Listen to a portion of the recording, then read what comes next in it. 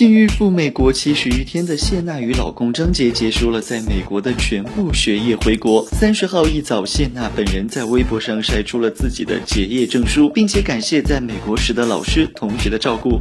谢娜此次美国之行从开始到结束，怀孕养胎的传闻一直不绝于耳。虽然波姐一直在大洋彼岸晒出各种照片来力证自己未孕，但似乎并未能平息怀孕之风。如今谢娜归来，小腹依然平平，似乎在力证自己并未怀孕。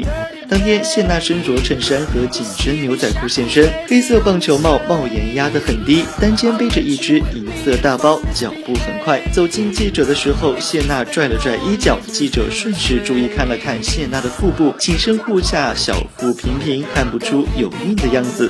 谢娜满脸笑容地跟记者挥手打招呼，快步奔向安检口。腾讯娱乐独家报 hold. Go ahead, go with it. Go ahead, go with with it. Go ahead.